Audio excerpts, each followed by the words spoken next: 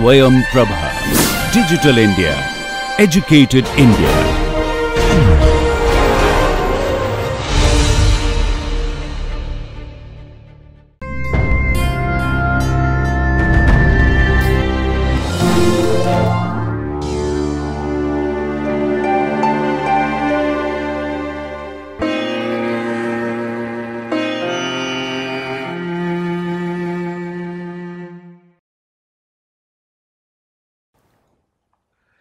This lecture on body fluid compartments, we will learn the following.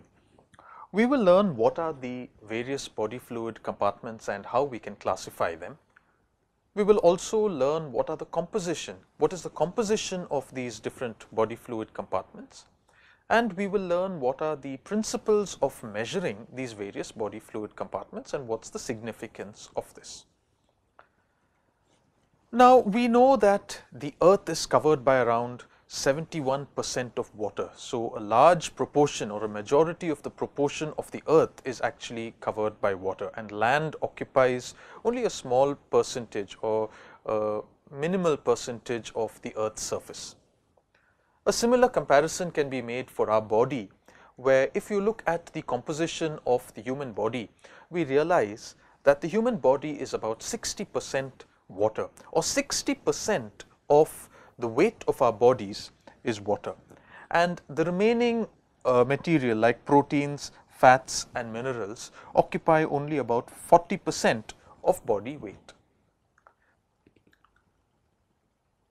Now, the 60 percent of body water is not an absolute value and there are many variations of this percentage. The 60 percent of body water depends also on the percentage of fat. Fat is relatively free of water and so the greater the proportion of fat, the lower will be the proportion of body water. So, women also have a lower proportion of body water and that is attributed to a larger proportion of subcutaneous fat. As a person increases with age, the proportion of body water also decreases. So, these are some changes that are seen with in body water with age uh, depending on the sex of the individual and also depending on the amount of body fat. Now, since we are talking about body fat, there is a term that we need to discuss and that term is called lean body mass and lean body mass is the mass of a person without fat. So, we take the total weight of a person and calculate the fat content and the weight of a person or the mass of a person without that fat is called the fat free mass or the lean body mass. And if you look at the water content of a person, uh, a person's lean body mass, that will be 70 ml per 100 grams of lean body mass or that is 70 percent of the lean body mass. And one thing to remember is as the fat percentage increases, the proportion of body water decreases. Now, where is this water present? We said 60 percent of the body is water. Where is this water present? So, in this figure you can see cells, you can see the fluid that is just around the cells. This is a capillary having the RBCs within it, this is the capillary endothelium. So, one easy way of dividing the body water is to divide it into the water that is inside the cells and the water that is outside the cells. So, the water that is inside the cells is called the intracellular fluid and the water that is outside the cells is called the extracellular fluid. And now you can make out that there is an extracellular fluid that is just around the cells and this fluid that is around the cells is called the interstitial fluid and the fluid, the part of the extracellular fluid that is inside the, the blood vessels or the fluid part of blood is called plasma. So, if we were to classify body fluids, we could classify them into the intracellular fluid which is within the cells and the extracellular fluid which is outside the cells and the extracellular fluid is divided into two compartments. One is the interstitial fluid which is the fluid outside the cells and plasma which is the fluid portion of blood.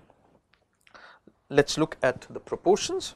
We said total body water is 60 percent of body weight. The intracellular fluid is actually two thirds of this. So, 40 percent of the body weight is the intracellular fluid and 20 percent of the body weight is the extracellular fluid. So, there is more fluid within the cells than outside the cells. Out of this plasma is 5 percent of body weight and the interstitial fluid is about 15 percent of body weight. Let us look at how does this translate into absolute numbers. So, if you have a 70 kilo adult man, 42 liters would be the total body water, 28 liters will be in his interstitial fluid, 14 liters in the uh, 28 liters in the intracellular fluid, 14 liters in the extracellular fluid, plasma will contain about 3.5 liters and the interstitial fluid will contain about 10.5 liters. There is also something called transcellular fluids. Now, these are fluids that are present in different body spaces such as the synovial fluid in the joint spaces, the cerebrospinal fluid which is there in the ventricles, the fluids within the eye that is the intraocular fluid, the fluid in the peritoneal cavity, the fluid in the pleural space, the fluid in the pericardial space. So, all these are small amounts of fluid that are present in the small different cavities in the body and a collective name given to all these fluids is transcellular fluid. The total value of transcellular fluid in an adult male is only about 1 to 2 liters or it is about 2 to 2.5 percent of the body weight. Our body maintains a balance of water intake and water output. So, if we look at the different ways in which we are able to take water into the body, primarily we take water in the form of fluids and also through the various foods that we take in. A certain amount of water is also produced due to the different metabolic activities within the body. So, these are the ways in which we get water into the system and the water that we take into the GI system finally gets absorbed and reaches the plasma and this is circulated to the different parts of the body and from plasma this water moves into the interstitial space which just surrounds the cells and from this interstitial space it could move into the intracellular fluid. So, this is the way by which water that we take can actually move to the plasma to the interstitial fluid and finally to the fluid that is within the cells. Similarly, if water has to be excreted this water output happens primarily through the kidney in the form of urine. Also during feces there is water excretion. When we breathe out, uh, we breathe out water vapor and so there is water loss due, due to breathing out and also through the sweat uh, from our body there is a lot of water loss. So these are the ways in which we take water into the into our system and the ways in which we uh, remove water from the body and these are the ways in which the different body fluid compartments interact with one another.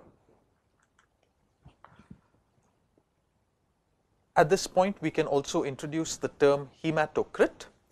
Hematocrit is also called the packed cell volume and how do we get the hematocrit? We take whole blood and if we centrifuge it at a high uh, RPM the RBCs will settle down and above the RBCs you will see the buffy coat which will contain the WBCs or the white blood cells and the platelets, but that is a very small uh, volume. So, this volume of red blood cells is called the hematocrit or it is the percentage of blood volume that is occupied by the RBCs. This is about 40 to 54 percent for men and a little lower for women that is about 36 to 47 percent for women. The intracellular fluid and the extracellular fluid are not similar in composition. If you look at the extracellular fluid, you will realize that it is predominantly a sodium and a chloride based fluid. So, the extracellular fluid is very similar to seawater. Whereas, if you look at the intracellular fluid, the predominant cation in the ICF is potassium so, potassium is 150 millimolar whereas in the extracellular fluid it is sodium that is the predominant cation. Now, we should ask ourselves some questions. First of all, how is it that the cell is able to keep the intracellular fluid so different from the extracellular fluid? And the second thing we should ask is what is the use of keeping the ICF different from the ECF? Now, to address the first question, how does the cell keep the ICF different? That is predominantly by the sodium potassium ATPase. the sodium potassium ATPase is an example of primary active transport and what this protein does is it constantly keeps pushing out sodium from the ICF therefore keeping the levels of sodium low and it constantly keeps bringing in potassium which therefore keeps the ICF levels of potassium high. So, sodium potassium ATPase by using ATP pushes out 3 sodium ions and brings in 2 potassium ions. So, there, thereby the sodium potassium ATPase keeps the levels of potassium high and the levels of sodium low within the ICF. The second thing to realize is that there is energy present in this concentration gradient. So, there is more sodium in the ECF and there is less sodium in the ICF. So, sodium has a tendency to diffuse from the ECF to the ICF and the cell at various times is able to utilize the energy that is present in this concentration gradient and therefore, when sodium enters into the cell it is also able to pull another substance with it or maybe take another substance out in a form of a symport or an antiport and this is an example of secondary active transport. So, the cell is able to utilize the energy that is present in a particular concentration gradient to transport other substances in secondary active transport. The other place where the cell is able to utilize these concentration gradients is for cellular communication especially in regards to action potentials. In the neuron as well as in the skeletal muscle, the depolarization of the action potential is due to the entry of sodium. So, there is already a concentration gradient that is prepared or maintained by the cell for sodium. So, when the membrane permits sodium entry in these uh, cells like the neuron and in the skeletal muscle, when sodium enters the cell there is a depolarization. Similarly, when potassium exits the cell there is a repolarization. So, the cell is able to generate these action potentials, the depolarization and the repolarization because it keeps a concentration gradient for sodium, potassium as well as for calcium. So, the cell spends a large proportion of its energy to maintain these concentration gradients and these concentration gradients are very useful for the cell because they help the cell in cellular transport as well as they help the cell in action potentials and in communication. Now, let us look at how we can measure these different body fluid spaces. And the way this is done is by the indicator dilution technique or we take a certain amount of a dye and we dilute it within that body space, measure it and see what is the final concentration. And this is based on the law of conservation of mass. So, what is it that we do?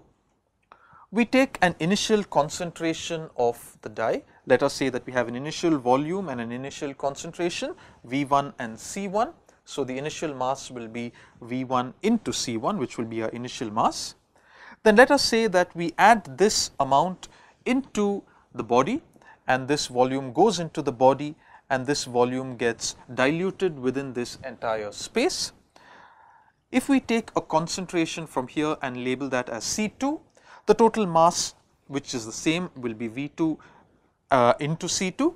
So, we can equate the initial mass with the final mass and say V1 into C1 is equal to V2 into C2 or if we know the mass we can say the mass is equal to V2 into C2. So, all we need to do is find out what is the initial mass dilute it within this body space, take a sample from it and then we are able to calculate what is this volume that this mass has been distributed in and this volume is sometimes called the volume of distribution for that particular compound.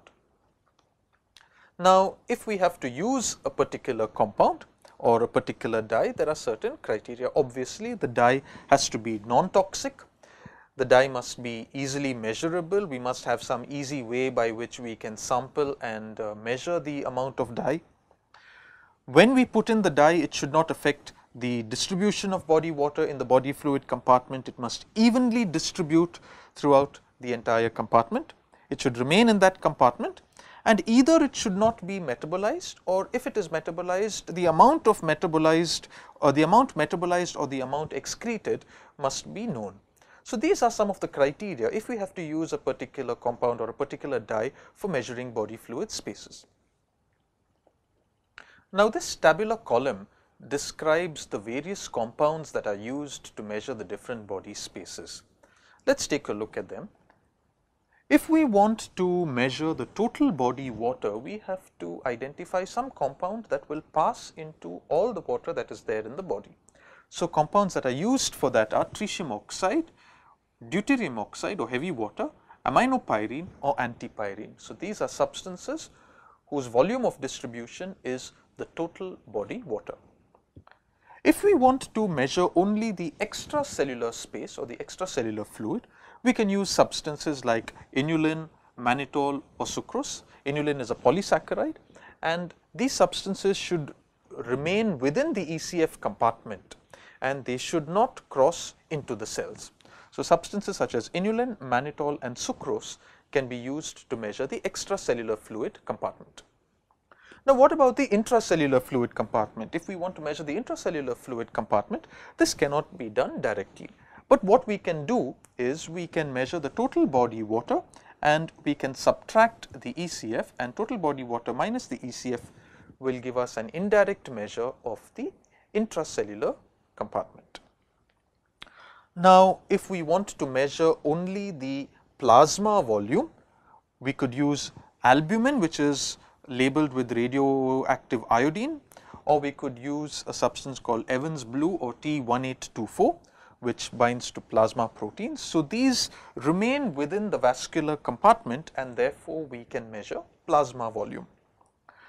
If we want to measure the interstitial fluid volume or the volume that is just around the cells, once again this cannot be measured directly, but we could measure the total ECF volume and subtract the plasma volume. So, ECF volume minus the plasma volume will give us an indirect idea of how much the interstitial volume is.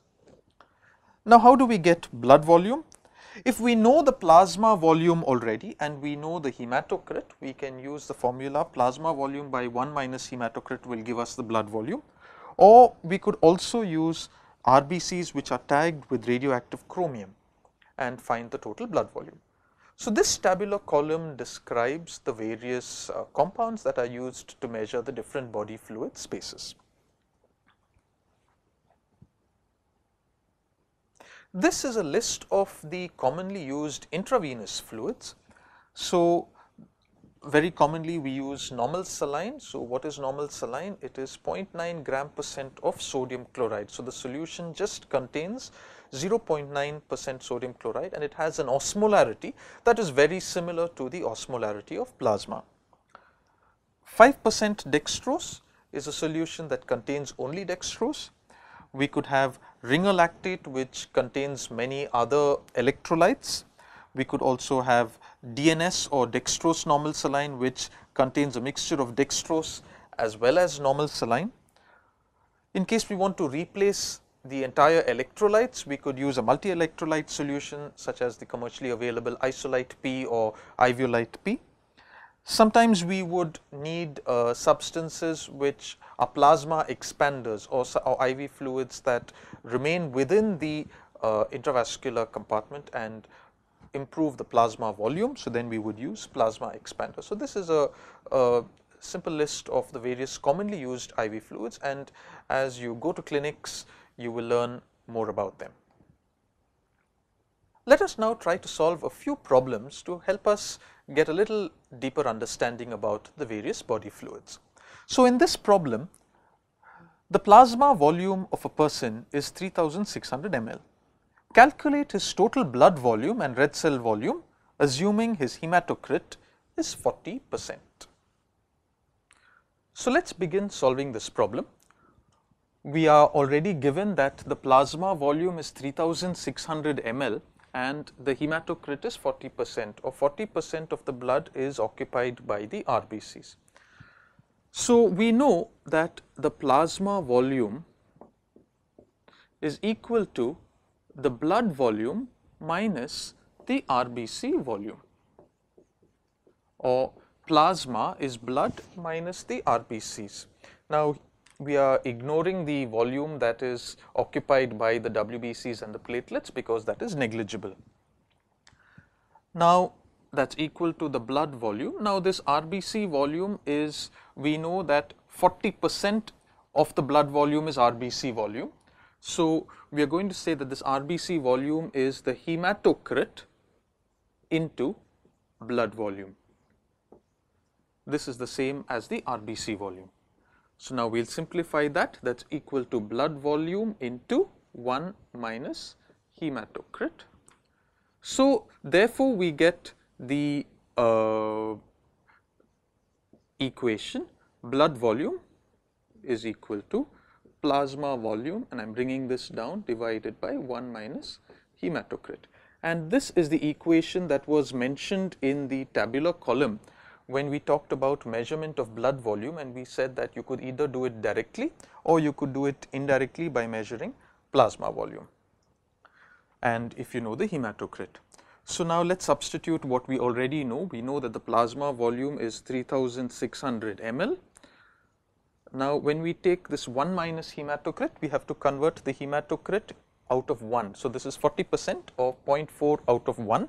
So, this is 1 minus 0.4 that is equal to 3600 ml divided by 0.6 that is equal to 6000 ml or 6 liters. So, we have our blood volume is equal to 6 liters. What is the RBC volume? We know that the hematocrit of 40 percent of this is the RBC volume. So, 40 percent, so the RBC volume is equal to 40 percent of blood volume that is equal to 40 divided by 100 into 6000 ml.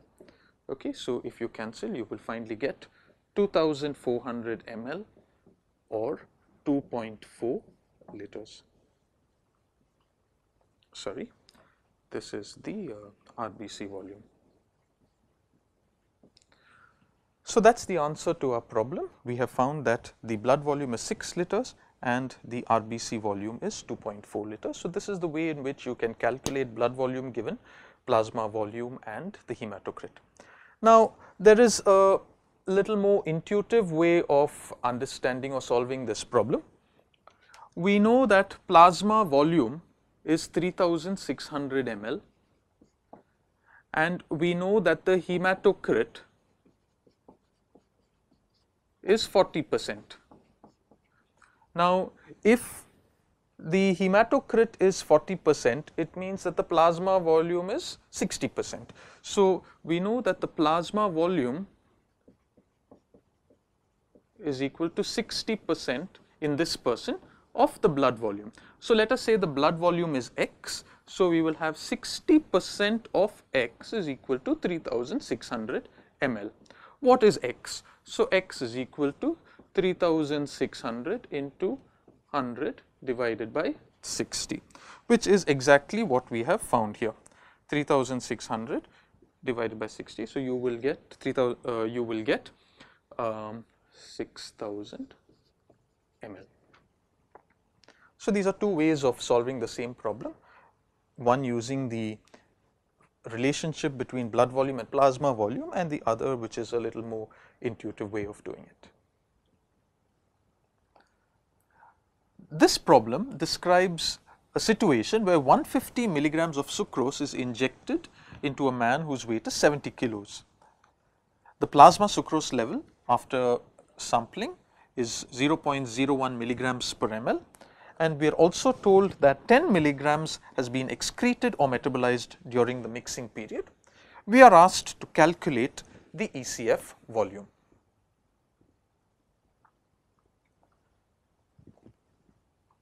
So, in this problem we have been given that 150 milligrams of sucrose has been injected. Out of this 150 milligrams of sucrose that has been injected, 10 milligrams has been excreted or metabolized.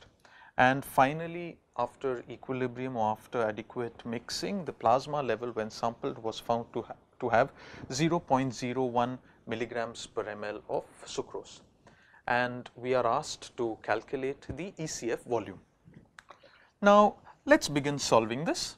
We know that 150 milligrams was injected and we know that 10 milligrams was metabolized or excreted. So, the amount that was finally distributed is 150 minus 10 or 140 milligrams was distributed. So, this is our mass that was distributed 140 milligrams has been distributed. Now, this 140 milligrams which is our mass is equal to the concentration into the volume of distribution.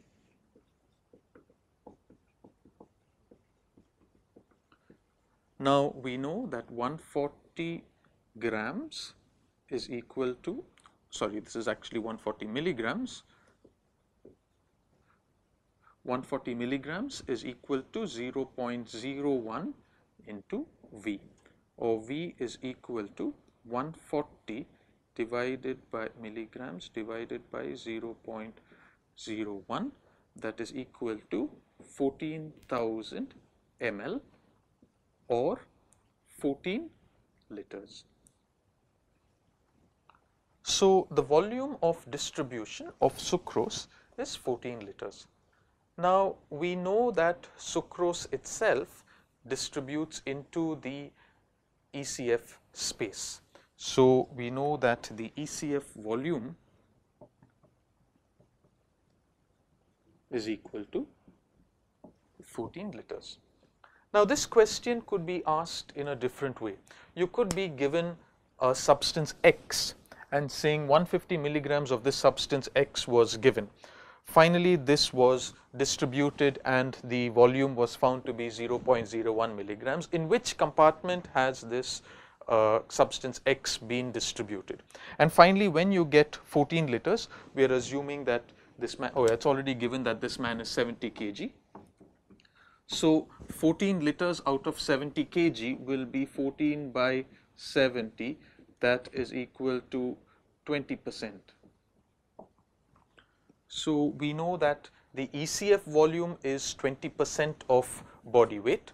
We know that the uh, ICF volume is 40 percent of body weight. So, if this substance X gets distributed in a volume that is 20 percent of body weight, it is most likely a substance that gets distributed into the ECF compartment.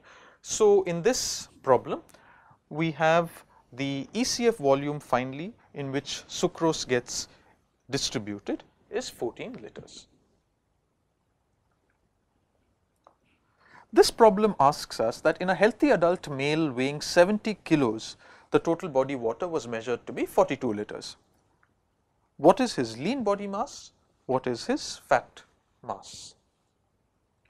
So, in this problem, we are given that we have a 70 kg adult and the total body water is 42 liters. We are asked to calculate what is lean body mass and what is his fat mass.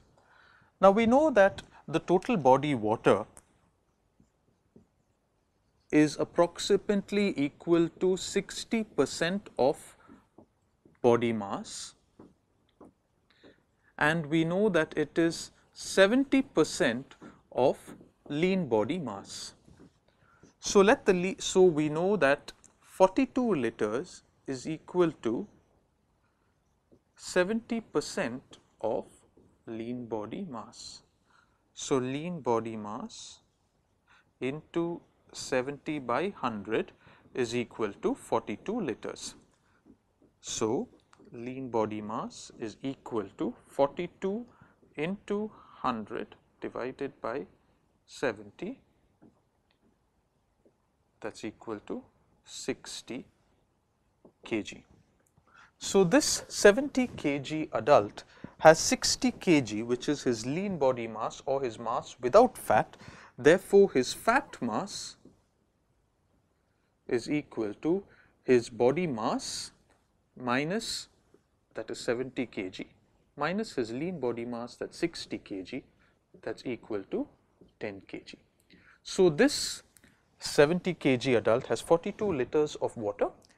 He also has 60 kg which is fat free mass or lean body mass and he has 10 kg of fat which is his fat mass. So, in summary we have discussed the various body fluid compartments, we have talked about the composition of these different body fluids the ICF and the ECF and we have also looked at ways in which the different body fluid compartments can be measured. Thank you.